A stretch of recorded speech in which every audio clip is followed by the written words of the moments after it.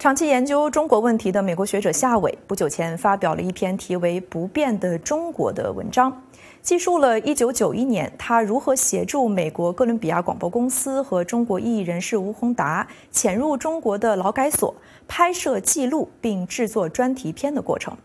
这篇文章揭露了哪些中国劳教制度的现实？这对于当今中国以及中西方关系的未来又有哪些启示？我们今天邀请了日前对夏伟进行了专访的美国之音记者江真，以及世界维吾尔代表大会执行委员会副主席、维吾尔族流亡作家伊利夏提，一起来探讨这些问题。欢迎二位。谢谢。好的，江真，我们想先从夏伟的这篇文章来谈起啊。我们看到这篇文章很长，有一万两千多个字哈，能不能先来给我们大致的概括一下这篇文章主要讲了些什么？呃，这篇文章其实原文有四万多个字，然后就是夏伟已经把它压缩到一万多个字了，并且他在采访里透露可能有出书的计划。那么这个文章它是发表于一月底，那个时候是大概冬奥会开始之前几天吧。因为这个冬奥会举世瞩目嘛，所以呃，虽然之前大家一直在讨论这个新疆的问题，那那个时候可能国际上有很多呼声，希望这个国际奥组委。就这个机会对中国施进就施加一定的压力啊，然后停止在新疆的这个侵犯人权的行为。但是当然我们知道这个事情最后也没有发生。所以夏伟那个时候呢，他找到了他三十年以前写的很长的一篇日记，而且没有发表。他那个时候是为《纽约客》写的。呃，这个日记是记录了1991年他怎么去帮助，就是 CBS 哥伦比亚广播公司去。还有一位异议人士吴宏达，他们怎么到这个中国大陆去秘密拍摄了劳教所和劳教制度，就揭露这个劳教制度以及如何去使用这个强迫劳动，呃，生产一些产品并且出口到全世界这么一个事情。所以，就三十年过去了，他又想起了这个事情。那么，他的就是初衷，就说他觉得，呃，尽管中国在一零二零一三年吧，就是正式废除了这个劳教制度，但是。这么多年过去了，他认为这个劳教制度，嗯，虽然被废除了，但是只是换汤不换药，就是最后这个制度其实，在某种程度上还是在广泛存在的，尤其是现在的新疆。那么他美其名曰叫这个职业技能呃再教育什么的，但是呃最终还是一回事儿，就是呃把这些很多政治犯或者说不经审判、不经法律程序送进。劳改营，并且有强迫劳动这样形容，呃，这样的一种现象。嗯，这就是这篇文章的来龙去脉。是可以想象得到，夏伟在一九九一年的时候，协助 CBS 的六十分钟栏目组去中国秘密拍摄这个劳改营，并且曝光了这个由囚犯来生产的产品怎么最终出口到美国和全世界，这样的一个过程肯定是相当艰难的。那么江真在你跟夏伟的对话的过程当中，有没有了解到当时他采取这样的一个行动啊，是这个背景是怎么样的？那这个过程当中还有哪些惊心动魄的故事？嗯。这个文章特别长，我就可以大概的呃讲一下这个事情，就说当初，呃，CBS 是怎么制作这个片子的。当时的一个大背景是一九九一年，就是美国的这个高层在讨论要不要给中国有呃这个最惠国待遇的这样的一个事情。当时，呃，讨论的比较激烈嘛。然后 CBS 就是哥伦比亚广播公司，当时了解到中国有这些就是政治犯啊、劳教所啊这些，包括他们。呃，他们在这个劳教所里要要劳动，然后生产一些产品出口出去。他们了解到这个现象，所以他们就产生了这个想法，要去做一个片子。但是，当然，一九九一年嘛，呃，这个时候很听起来有点不可思议。但是，他们就找到了夏伟。那么，夏伟是一个无可争议的，就是一个中国专家吧。他七十年代就在中国学习了。所以他们最后辗转找到了这个吴宏达，就是当时已经在美国的一位异人士，他的身世也是很离奇的，就是很传奇的。就是吴宏达，他是应该是，呃，一九一九四几年出生的吧，我记得是。然后他是在上海，他的家里是比较富裕的，他父亲是个银行家。然后呢，四九年这个中共建政之后，他们家里就衰落了，然后父亲，呃，财产被没收啊，然后他们家也也。呃，他是，一九六零年的时候因因言获罪，然后被判了十九年，所以他自己也在劳教所里坐满了十九年，然后一九八五年才来到了美国，然后开始研究这个劳改制度。那么一九九一年的时候，这个 CBS 就通过夏伟找到了吴宏达，然后吴宏达自己毛遂自荐，觉得他是最好的来，呃，做这个事情的人。然后他带着两台摄像机进入了中国大陆，然后并且成功的秘密拍摄到了劳教所的这个画面，然后返回美国。这个后来就是很曲折了。我就长话短说，他其实第一回第一回他这个拍摄的素材不是很成功，后来他又去了第二次，然后第二次居然离奇的把这个哥伦比亚广播公司的记者和摄像师带入了中国，然后他们秘密拍摄了和这个劳教所的主管呃这个。在谈，呃，他们乔装成美国的商人，假装要购买这个由中国的劳管劳改犯生产的产品，呃，想去呃出口到美国，然后，呃，这一切最后都成功了，然后都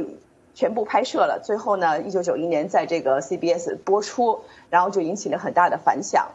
呃，包括后来有很多媒体都跟进报道了这些事情。嗯，是，呃，刚刚其实也提到了，说夏伟之所以选择在三十年后又把过去的这个日记拿出来，然后写了这样一篇文章，也是因为当下国际社会对于新疆的人权问题的关注哈，而且夏伟也是将中国三十年前的这样的一个劳教制度跟现在新疆所谓的这个职业技能教育培训中心来做对比，认为是换汤不换药。那么伊利夏提先生，您是否同意这样的一个观点？呃，我。在某些方面我是同意的，但是呃，我要补充的一点呢，就是说，呃，现在在东突厥斯坦的这个集中营是种族灭绝营，它和中共历史上的劳改营还是有本质的区别。劳改营呢，它是要改变某一个群体的人，那个群体呢，它呃把它标签为是反革命啊，或者是地富反坏右啊等等。但是这一次的，呃，对维吾尔人的这个集中营，是针对一个民族，也就是说和这个政权所的所占主导地位的汉文化不同，和这个民政权呃执政这个民族不一样的有文化传统的这样的一个民族，包括维吾尔人、哈萨克人等突厥语的民族，而且目的呢是要把他们。呃，从各个方面要消灭，既有物理的消灭，也就是说让他们一部分人死亡，啊，屠杀、折磨、酷刑，然后另一个部分呢，就是从文化上把这个民族的全部，包括它的历史遗迹、文化、呃文字、书本全部，呃都要销毁。呃，集中营是一个方面，但是呢，更多的是在进行屠杀。判重刑，啊，比如说我们呢就在上个星期得到的消息，自由亚洲电台一位年轻维吾尔记者的父亲，七十一岁被判了十五年徒刑。七十一岁的一个人，十五年徒刑，我们大家可以想象他是否能活着出来。那么这个呢，就是说有意识的是要让他们死在这种折磨当中，所以这是一个种族灭绝营。与呃，我一直认为。当然，这是我的观点，可能能代表大多很多的维吾尔人。用人权灾难或者是什么的去描述呢？对于我们这些受害者，像我三个妹妹在集中营里头，母亲失踪，对我来说，它显得有点轻飘飘。呃，种族灭绝，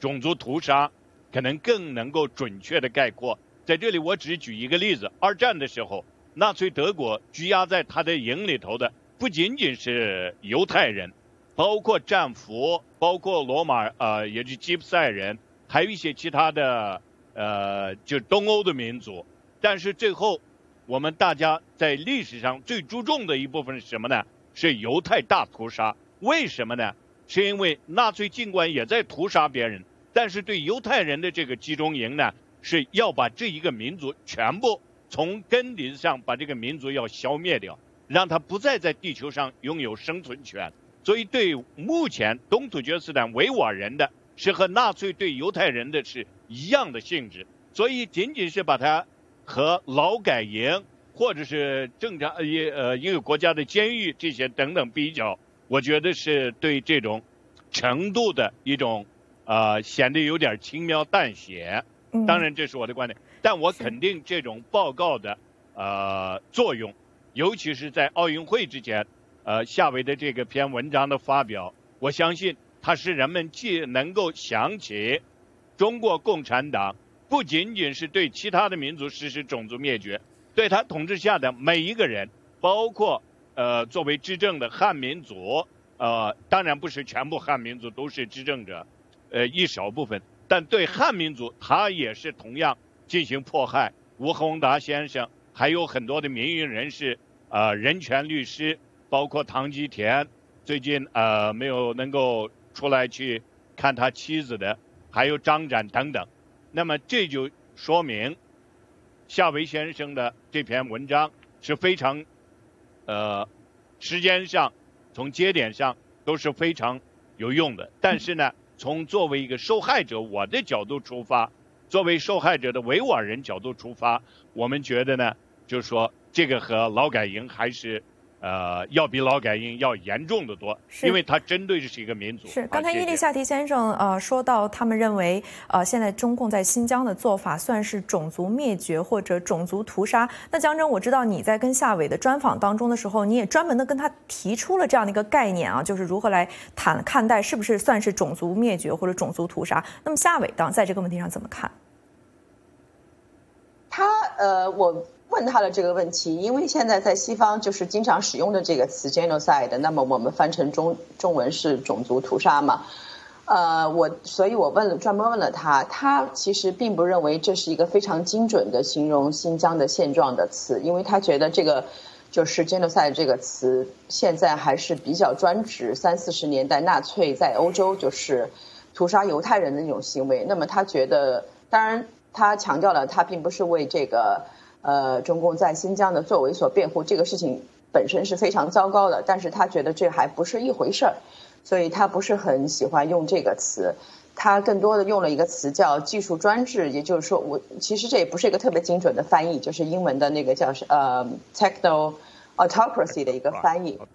对这个词翻译过来翻成中文技术专制，可能大家听着都觉得挺奇怪的，因为确实也不是很精确或者很。很准确的来形容现在中国的这个制度，呃，所以夏伟就强调，他说这是以前我们没有多见过的一种制度，它是非常中国的一种东西，它需要一个新的词汇呢来形容它。呃，他也强调了这是一个非常危险的制度，因为它侵犯了这种就是所有的呃文明、民主、自由的国家最珍视的东西，那就是个人自由。呃，他而且把他这个现在就是中国政府在新疆的所作所为，他觉得是有一种像一九五零年斯大林的这个所作，呃，斯大林的做法的一个高级版，就是把很多人送到古拉格去。呃，他觉得是中国这个政府把他学习过来，并且把它发扬光大了。所以呢，他总的来说，他还是觉得需要用用用一个其他的词汇来形容这种做法。是。那么，伊丽夏提，您怎么看待这个“技术专制”这个词这样的一个说法？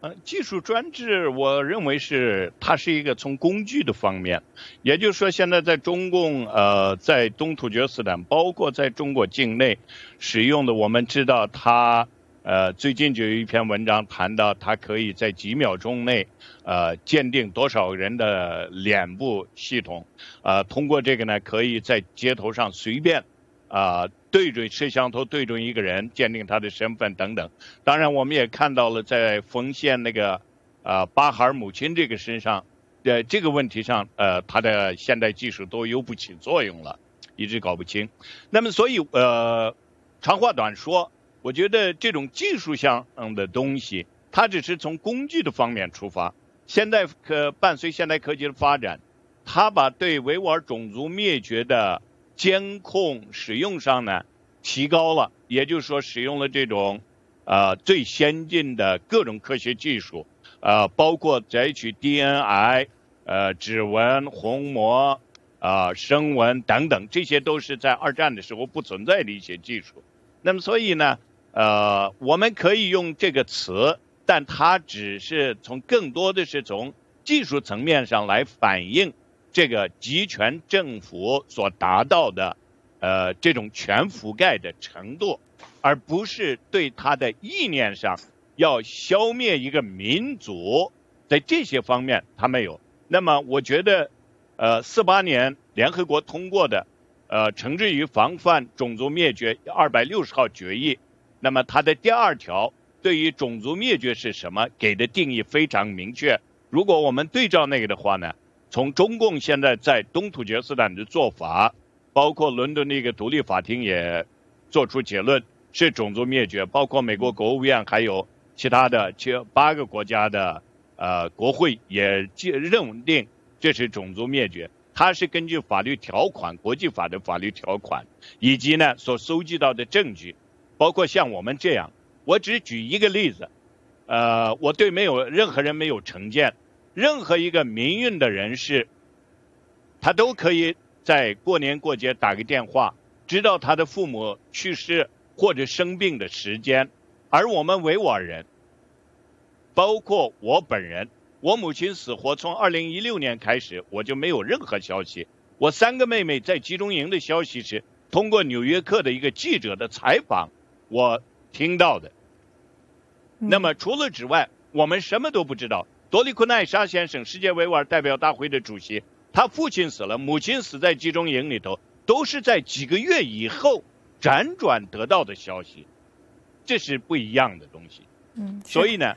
这是种族灭绝，我们认为是种族灭绝，是根据我们的证据和个人的这种遭遇来讲的。谢谢。当然，中国的这个三十年前的这个劳教制度，跟现在在新疆的呃一些人权的做法，为呃是不是能够这个非常准确的来对比，有争议哈。但是整体上，夏伟为什么会说中国在过去三十年当中是一个不变的中国？所以江真他认为中国在哪些方面是不变的？嗯，除了我们就是他在文章里讨论的这些劳教制度。呃，夏伟有一个很有意思的观察，他觉得不光是在中国，中国是在过去的二十年也好，三十年也好，四五十年也好，他觉得过去一百年，中国的这个领导人的这个心态都没有变过，那就是都非常渴望富强，渴望达到伟大。所以，呃，他分析，他其实是从这个心理学的一个角度这么样分析了一下。呃，他谈到了蒋介石，包括蒋介石虽然是一个很强烈的民族主义者，但是他也是非常有这个深深的屈辱感和耻辱感的，因为中国这么多年来，包括签订不平等条约啦，包括这些。呃，被迫开放一些口岸城市，这些，那么这个造成了中国的领导人在心理上有一种非常根深蒂固的这种屈辱感，所以多少年以来，他一定要去洗刷这种屈辱感，要要达到伟大，要达到富强。那么他觉得，不管是从邓小平时代的韬光养晦也好，还是到现在的比较这个呃外交上比较咄咄逼人也好，那么从头到尾，其实他的这个心理都是一样的。那就是我们一定要和中国一定要和西方呃平起平坐，不能再落后于别人。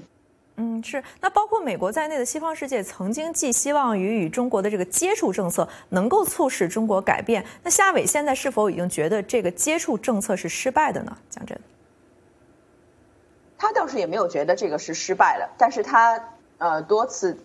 使用了一个词，就是天真。就是他说了很好很多次，我们那时候天真的以为和中国的互动和中国的接触，能够让中国不但从这个经济体制上呃得到改变，能够经济腾飞，而且会从这个政治体制上得到改变，然后慢慢的走向和这个呃自由民主的道路。但是我们也知道，中国其实这么多年来一直都是非常反感这个和平演变这个词的。所以，呃，包括邓小平那个时候出来说坚持思想基本原则，其实就是意图很明确，呃，我们一定要坚持共产党的领导，不能不能有多党制。那夏伟的观点是，当时很多人知道看到了这个呃邓小平的这种说法也好，后来江时代的这种这种呃坚持也好，但是他们的态度很天真。他们认为，只要我们在互动啊，我们有学术上的交流啊，你们中国人来我们美国上学啊，你看我们的生意做的都很好啊，慢慢的你们总是会走上这个民主自由的道路的。但是，